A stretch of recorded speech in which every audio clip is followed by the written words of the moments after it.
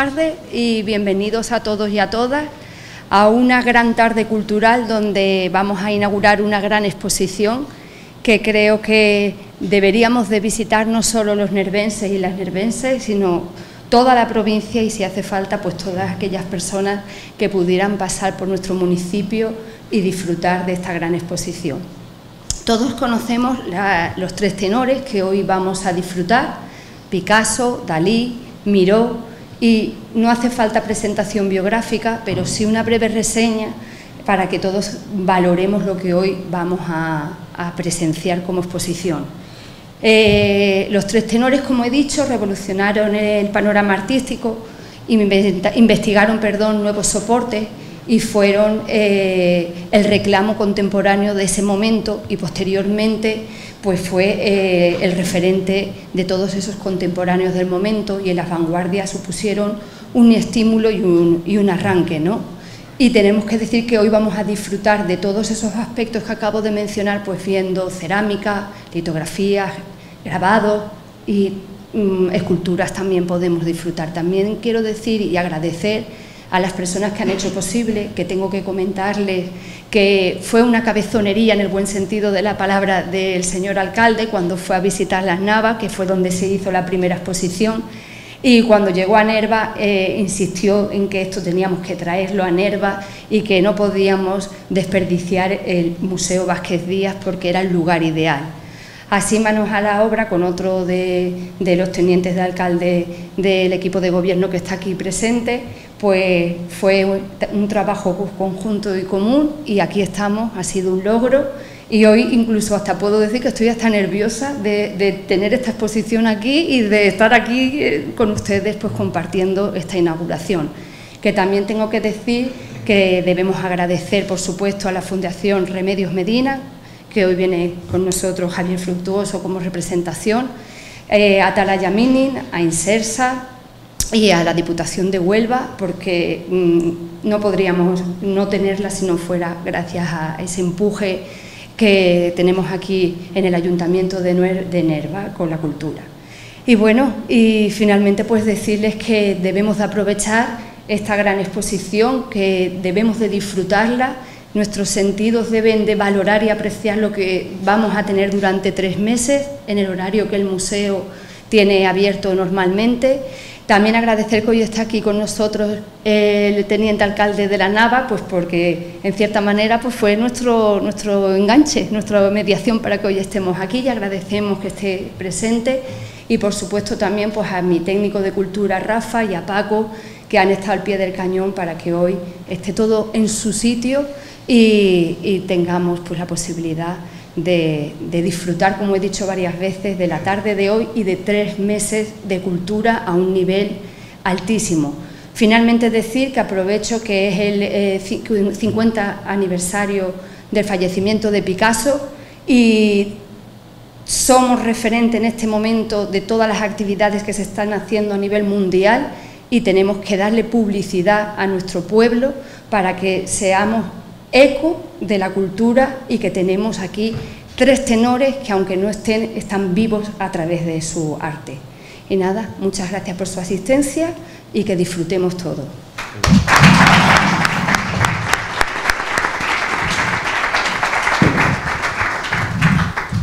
Buenas tardes. En primer lugar, dar, bueno, dar las gracias a... Oh, perdón. Ahora, dar las gracias al Ayuntamiento de Nerva, por supuesto, a sus representantes del Ayuntamiento y a todas las empresas y todos los organismos que han colaborado para hacer posible esta exposición que inauguramos hoy. También daré las gracias al teniente alcalde del Ayuntamiento de La Nava, sin que sin él no hubiera sido posible todo esto, porque fue la persona que que puso esta exposición ya hace unos meses y la dio a conocer pues para que el señor alcalde aquí, el señor Ayala, pues la, conociera y la viera y se quedara prendado de ella, como yo creo que se van a quedar ustedes también prendados de, ella. Dar las gracias también, sobre todo, como decía, como decía la compañera, sobre todo a Rafael. Rafa es un fenómeno, el técnico de cultura y a Paco, que no sé si estará por aquí, que estará el hombre en su recepción, que es un magnífico eh, profesional. Lo comentábamos ayer porque el montaje de exposiciones, mucha gente piensa que colgar 19 cuadros, poner eh, seis o siete vitrinas con, eh, esculturas y demás, pues una cosa muy sencillita. Tiene muchísima complicación y yo, como se suele decir, ¿qué les voy a decir yo a ustedes que hemos, montado en Estados Unidos, Luxemburgo, en Dubái, en Corea del Sur, etcétera, etcétera? Y no hemos tenido la suerte en muchas ocasiones de contar con un profesional como Paco. Nos llevamos muy bien porque, porque yo creo que cuando uno sabe lo que está haciendo es mucho más fácil comunicarle las cosas que tiene que hacer y es un fenómeno. O sea que de verdad, eh, Rafael, enhorabuena, muchísimas gracias por, tu ayuda y a Paco que está ahí fuera se lo daremos cuando salgamos. Así que bueno, eh, bueno, comentarle simplemente, como representante de la, Fundación Remedio Medina, que es la que se encarga de, bueno, de gestionar un centro de arte contemporáneo que, tenemos en, un pueblo de Málaga, seguramente lo conocerán, Mijas, eh, por Fuengirola, ahí en la montaña lo tenemos pues eh, eh, nosotros tenemos eh, un centro que no es muy grande, tiene tres salas, dos salas permanentes y una sala temporal, una sala permanente con, obras de Picasso, otra sala permanente con obras de Salvador Dalí y otra sala temporal donde ahora tenemos a Salvador Dalí, pero habitualmente pues podemos tener cualquier otro tipo de autor.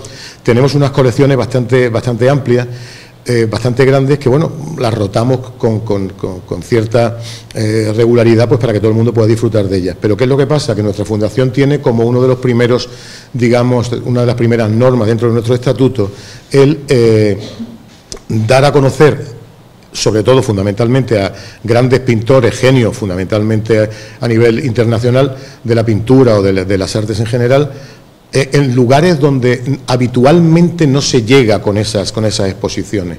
O sea, nosotros lo que nos encanta es montar una exposición en Nerva, montar una exposición en La Nava, montar una exposición, puede ser en Aracena, puede ser, en, no sé, en pueblos de, de, ciudad, en pueblos de, pues de Ciudad Real, de León. ¿Por qué? Porque habitualmente las personas que viven allí, si quieren tener acceso a ese tipo de, artistas, pues tienen que ir a capitales que normalmente pues, no, están muy cerca y si quieren ir a, ver ese tipo de artistas, por ejemplo en Andalucía, pues se tiene que ir al Museo Picasso de Málaga para ver a Picasso o bueno, eh, pues eh, en, Valencia, la comunidad valenciana, pues se tiene que ir al Ivana, Instituto Valenciano de Arte Moderno, o sea, tienen que hacer muchos kilómetros. Nosotros nos, nos encanta el llevar a esos lugares esas obras que de, otro, de otra manera pues estarían en una capital de provincia y sería más complejo para estas personas que viven no en, el, en, en, capital de provincia sino en comarca para que puedan disfrutar de ella. Entonces eso es nuestro objetivo fundamental.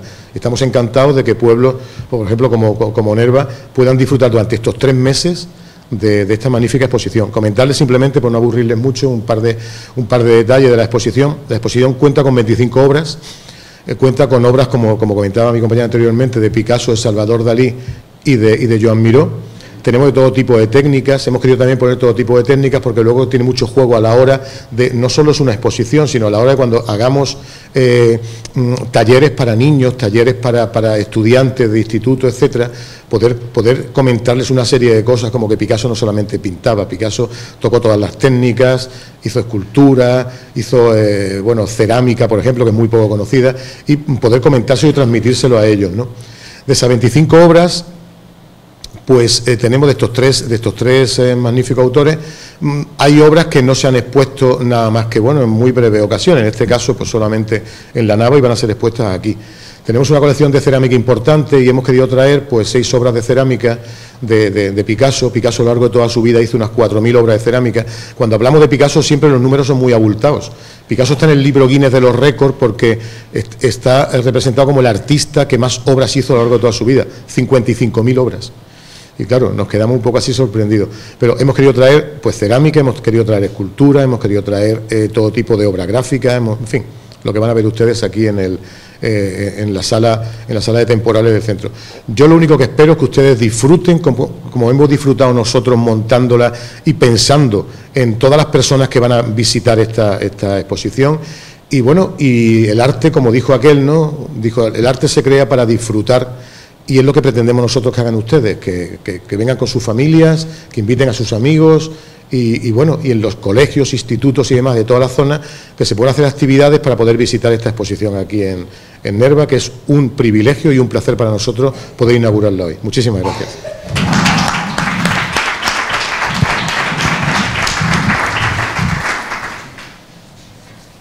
Muy buenas tardes y bienvenido. Bienvenido Jesús Verdejo, amigo Jesús, que aparte de ser el teniente alcalde de la Nava, pues nosotros nos conocemos de otras de otras facetas que son más lúdicas. Y bueno, pues fue casualmente eh, un día en Aracena, en el bar del museo, que, me lo encuentro, estábamos tomando café y empezamos a hablar porque yo ya sabía que tenían la, exposición y bueno, de ahí parte todo. De ahí me da el contacto y de ahí empezamos a hablar con, con Javier a la hora de traer esta exposición aquí para que los nervenses, las nervensas, toda la comarca disfruten de estos, creo que tres tenores, tres primeras espadas o tres genios de la pintura como fueron Dalí, Miró y Picasso. Lo que quedaba después era eh, eh, financiarla, que bueno, pues tengo que agradecer hoy estén con nosotros también el CEO de Atalayamini, el representante de IRSESA, amigo Rafael, y eh, la Diputación Provincial, que hoy, como todo el mundo sabe, hay un evento en Huelva bastante importante, una convención municipalista, y no nos ha podido acompañar y disculpa su presencia la diputada territorial que no ha podido asistir. Eh, esas son las ayudas financieras más el ayuntamiento a la hora de poder traer esta exposición para que todo el mundo la vea, porque como decía Javier, ellos que tienen esa fundación y se dedican a, cederla o a llevarla por un precio no muy alto para la calidad que tiene, a sitios donde tendríamos que desplazarnos muchos kilómetros para poder ver obras de este, de este tipo. Así que agradecer a la Fundación Remedio Medina esa predisposición, a Javier que siempre ha estado al pie del cañón dispuesto a que esto fuera posible. Al teniente alcalde del área económica también pues, por hilar fino como siempre a la hora de hacerlo y al área de cultura que ha estado también a la altura de las circunstancias para que, bueno, pues como lo ha dicho Paco, es un verdadero artista del montaje de, exposiciones, son muchas, para que podamos tenerlo aquí. Y también me gustaría hoy detenerme en algo que creo que todos, o por lo menos nervense, no se nos pasa por alto. Hoy probablemente eh, Juan Barba hubiera estado aquí, sentado aquí también, y hubiera disfrutado muchísimo con poder presentar esta exposición en su pueblo, porque todo el mundo sabemos que el gran hacedor de que exista este museo, de que exista la Fundación Vázquez Díaz, de que en Nerva haya tanto artistas, sobre todo, no los pasados, sino los de ahora, y estoy viendo aquí a las dos profesoras de la Escuela de Pintura, que son nervensas y que siguen transmitiendo esa pasión por el arte que tenemos aquí en nuestro pueblo, pues que fue uno de los grandes valedores que hoy desgraciadamente, como sabéis, nos abandonó eh, hace escaso tiempo, pero que creo que hubiera disfrutado mucho. Y creo que todos estamos pensando hoy en él y desde aquí eh, el recuerdo. Vamos a ver eh, a Dalí, a Miró y a Picasso en nuestro pueblo. Vamos a comunicarlo a todo el mundo porque esto no es una oportunidad que tengamos todos los días. Y vamos a acercarnos también cuando podamos a la Nava, que también van a tener, después de nosotros, mañana inauguran otra exposición de Picasso. A mí la Nava es un sitio que me atrae muchísimo, que lo conozco de hace muchos años que practico por allí una de mis grandes aficiones, que todo el mundo la conoce, no la voy a repetir aquí, y que eh, es el verdadero corazón de la Sierra de Huelva. Tiene, eh, si no la conocéis, tiene unos senderos magníficos y tiene unos paisajes inigualables.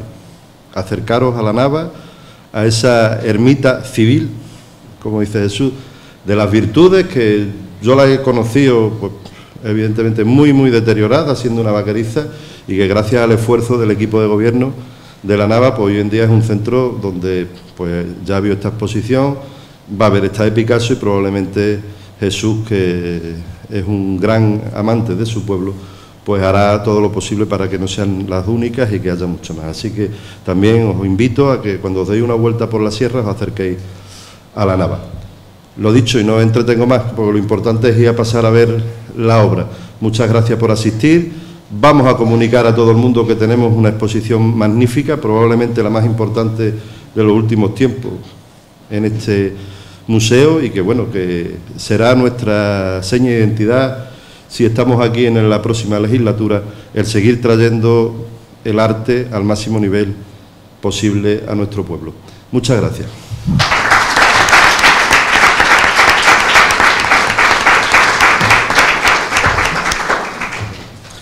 Pasamos y la vemos.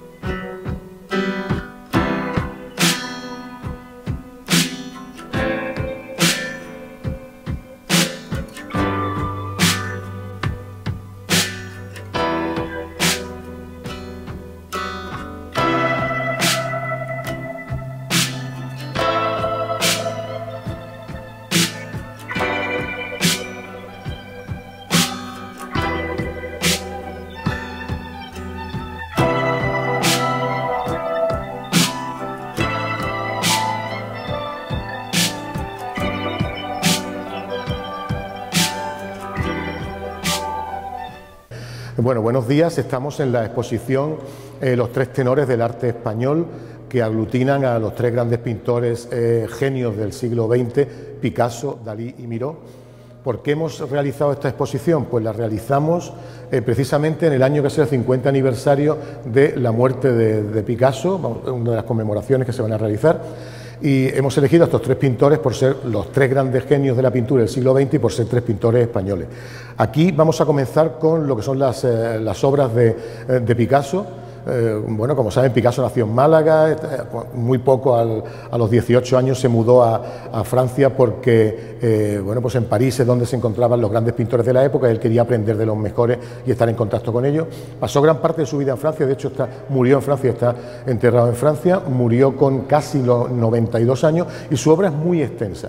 ¿Qué podemos decir de Picasso como genio del siglo XX? Podemos hablar muchas cosas, pero fundamentalmente que tocó todas las técnicas.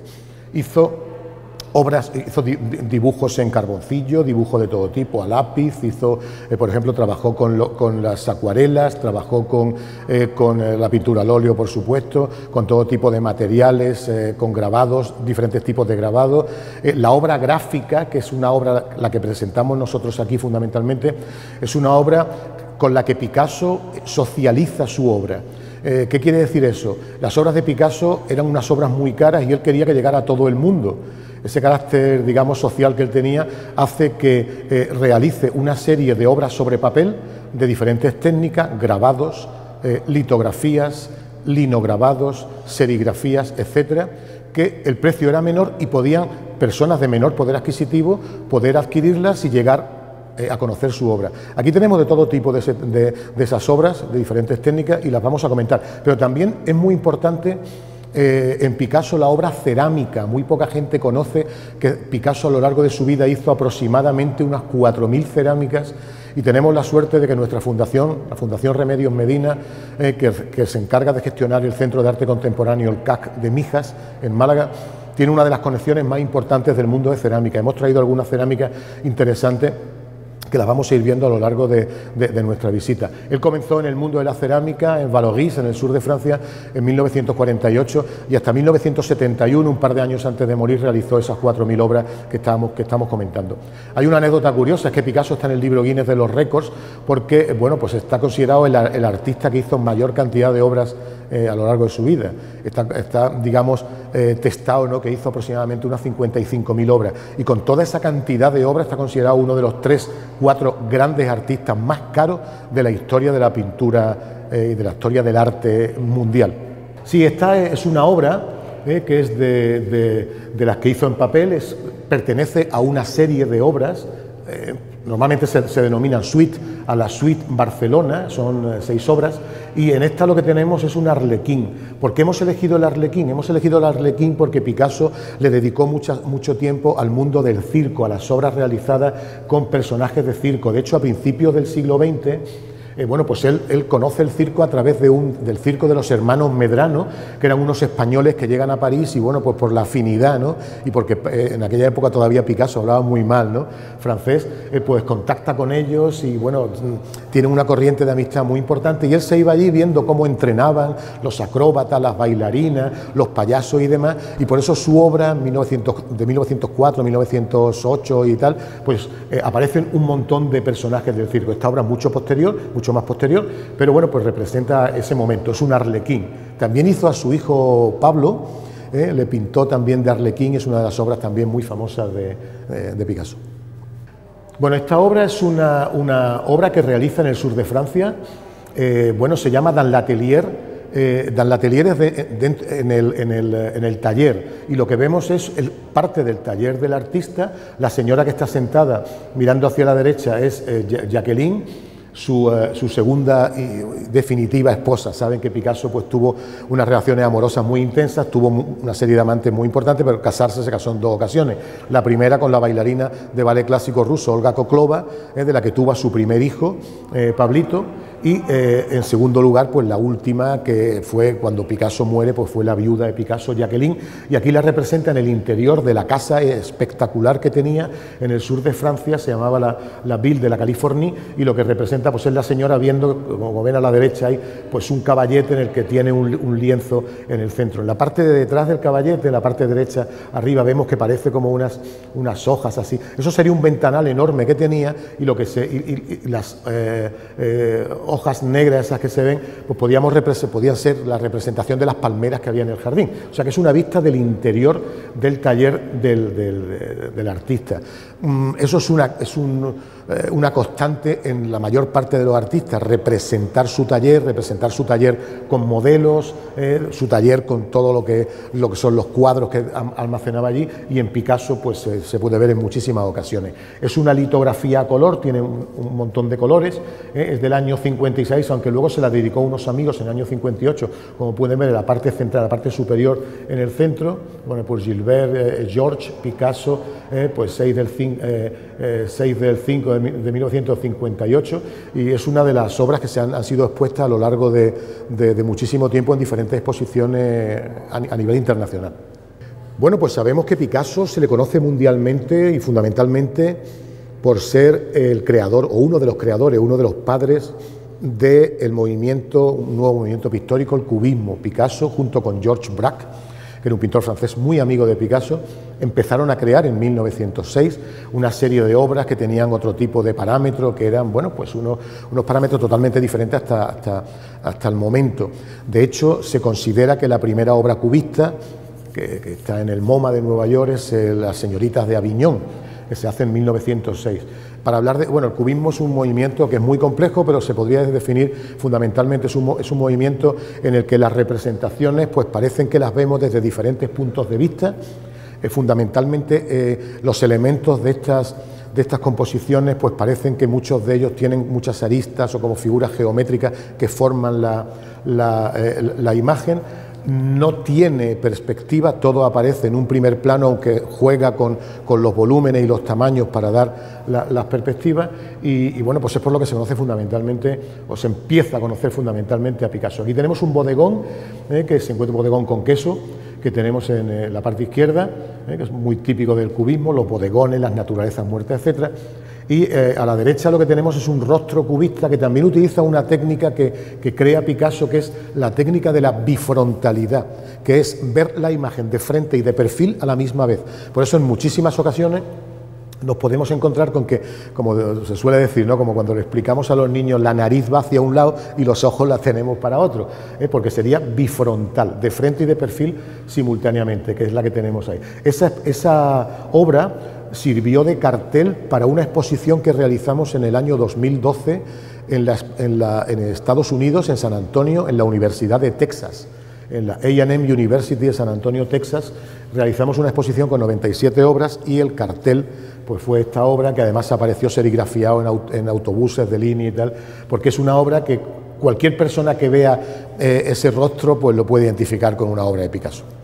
Aquí tenemos dos obras de cerámica de Picasso. Como habíamos comentado anteriormente, él hizo aproximadamente unas 4.000 obras eh, a lo largo de toda su vida y aquí tenemos dos de ellas. Él jugaba mucho con los volúmenes hasta el punto de que eh, el, continente lo relacionaba con el contenido. Estamos viendo a la izquierda un pez es muy sencillo ver que es un pez, pero incluso si no tuviera nada pintado, la forma que tiene realmente la vasija, el continente, pues es un, eh, nos haría recordar un poco por lo que es el pez. Él aprovecha simplemente para dar, con cuatro trazos realizar ya pues, que, nuestra imaginación no tenga que, que, discurrir mucho y ver perfectamente lo que es el pez. A la derecha exactamente igual.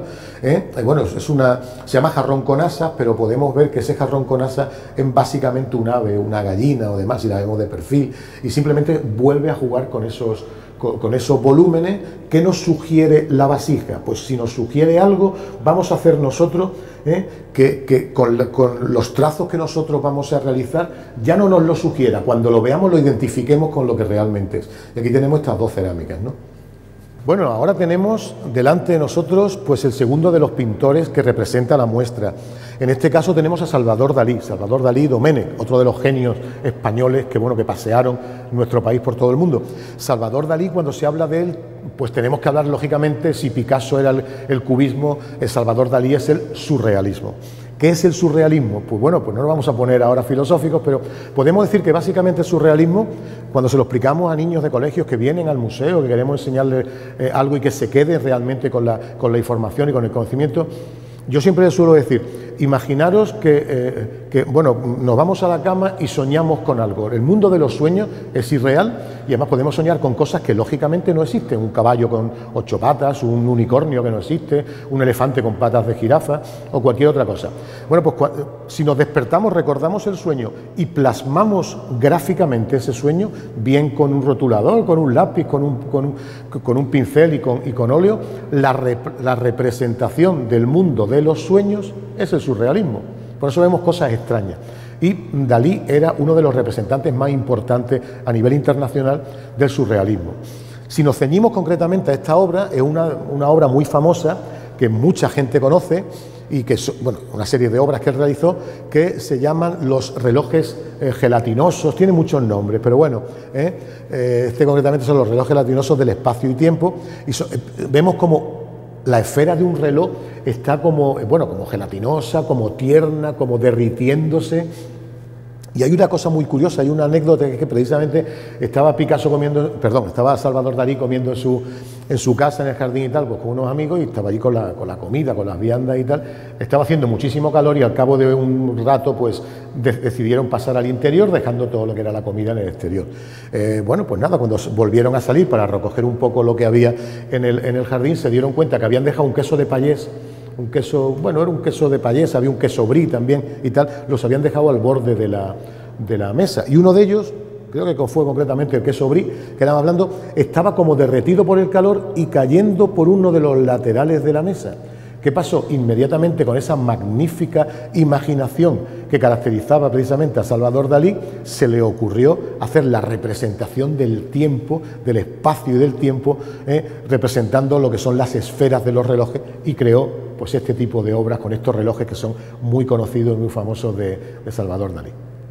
Esta obra es una de las obras que representa, una de las 100 obras que él realiza para el libro más importante que tiene la literatura italiana, La Divina Comedia de Dante Alighieri.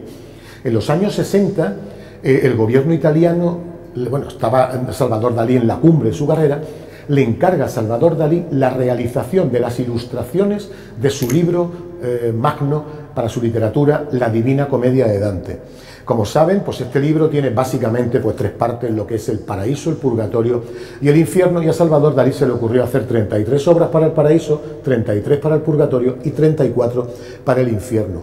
Esta que tenemos aquí concretamente representa una de las 33 obras de, eh, del capítulo en este caso del paraíso y bueno pues la hemos puesto un, poco así pues para que, para que la gente también pueda apreciar y conocer pues esta faceta de ilustrador que tenía también Salvador Dalí en nuestro museo de Mijas tenemos ahora expuesto en la sala número 2 eh, bueno pues lo que es el, el paraíso y bueno pues es una verdadera maravilla pues porque cada una de las obras representa pues, lo que nos podemos o lo que pensamos que nos podemos encontrar en el paraíso y son muy espectaculares, pero siempre, lógicamente, desde el punto de vista surrealista. Bueno, Salvador Dalí era exactamente un artista muy parecido a Picasso desde el punto y hora que le encantaba tocar todo tipo de técnicas, hacer todo tipo de, representaciones artísticas como Picasso, no solamente era pintor, era más o menos en ese punto muy parecido a, Picasso. Aquí podemos ver cómo también tocaba la escultura, aquí a mi derecha tenemos esta obra que está hecha con pasta de, eh, de, vidrio, con de vidrio Daum francés, que representa una guitarra y bueno, pues es una guitarra surrealista representada en este caso con volumen, con el volumen que tienen pues las obras escultóricas. Es una obra muy espectacular que también se, ha, se ha presentado en, un montón de exposiciones, no solamente a lo largo de nuestra geografía, sino a nivel internacional. Y luego tenemos aquí eh, a, mi izquierda, pues otra de las obras, además famosa de Salvador Dalí, en este caso es una, una escultura en bronce que representa un minotauro, aunque el minotauro era uno de los animales favoritos de, Picasso, Salvador Dalí también lo representaba en múltiples ocasiones y vemos cómo tiene, bueno, pues otra serie de elementos que están hechos en oro como por ejemplo ese enorme cangrejo que tenemos en el centro, pues ese, ese eh, trapo que cuelga del cajón del pecho del minotauro, pues esa botella, esa, esa copa, esa llave, etcétera, que están hechos, son elementos que están hechos en oro. Él hizo una serie de esculturas muy interesantes eh, se le conocen por darle otra serie de usos a elementos muy comunes, se conoce muy, eh, muy conocido, ¿no? La obra de, eh, es, una, es una langosta que es un teléfono, ¿no? Y bueno, y otros muchos tipos de, esculturas de él. Y aquí pues, hemos querido traer esta pues porque es conocida y la gente va a disfrutar bastante por el contraste de colores entre el, bronce, el verde del bronce y el, dorado del resto de las piezas de la escultura. Bueno, ahora tenemos a nuestro tercer genio de la pintura española y la pintura universal. Eh, aquí tenemos a Joan Miró. Eh, Joan Miró, que era también de la época de, Dalí y de Picasso, de hecho, los tres murieron muy mayores, se conocieron y tuvieron, y tuvieron influencias unos de otros. Aquí lo que vemos también es surrealismo, pero el surrealismo clásico de Miró es un surrealismo que utiliza los colores básicos para representar cosas para contarnos cosas. ¿Esos colores básicos cuáles son? Bueno, pues podemos decir generalmente que eh, Miró utilizaba el negro y luego el amarillo, el azul y el rojo. Y diremos, bueno, pero aquí tenemos colores verdes, es que el verde se saca con el amarillo y el azul. Es que, bueno, tenemos, el, tenemos colores naranjas, es que el naranja se saca con el rojo y con el amarillo. Pero jugaba con esos colores básicamente, a nivel de, de composiciones con manchas de ese tipo de color. Vemos, por ejemplo, esta que se llama composición animal, es muy divertida, a los niños les encanta cuando la ven, porque ellos ven cosas muy curiosas. Hay que mantener un, diálogo con, con, los colegios, con los niños de los colegios que vienen, con las personas que nos visitan, porque no solamente ellos aprenden de nosotros, sino nosotros de ellos, nos enriquecen mucho. A mí me enseñó un, un niño que, este, que esta obra pues se parece a ese osito que aparece en una película de Disney, Lilo y Stitch, ese Stitch, el, extraterrestre este que salía en la, en la película, con los ojos, con la nariz, con la boca y con una de sus orejas. Bueno, eso es lo bonito del arte, la interpretación que cada uno da de él y lo que, lo que hace sentir a cada persona. Aquí tenemos esta que es una composición animal, ahí tenemos aquella que se hizo como un, eh, como un boceto para unos carteles que, él, estaba, él estaba realizando. Es también pues, de las clásicas, pues tenemos el azul, que mezclado con el amarillo forma el verde, el rojo, es una, una muy clara eh, composición de, de, Joan Miró, y en la que, como en otras muchas también, Joan Miró se mojaba las manos y dejaba plasmada su huella, pero no solamente su huella como, como firma, sino su huella como, como, como su propia mano. Esta es una obra que particularmente me gusta bastante. ¿Y por qué me gusta? Pues fundamentalmente porque es muy de Miró, utiliza los colores clásicos, se ve ¿eh? que de Miró a simple vista, con la típica estrella, con los colores clave, pero fundamentalmente también porque cuando se, realiza la Fundación eh, Joan Miró, pues eh, se hace esta obra, se hace una serie muy reducida de, de obras como esta y se regalan a personalidades importantes que o bien contribuyen a divulgar la cultura y la obra de Miró, o bien son personalidades importantes en el mundo de la política del momento. ¿Qué ocurre?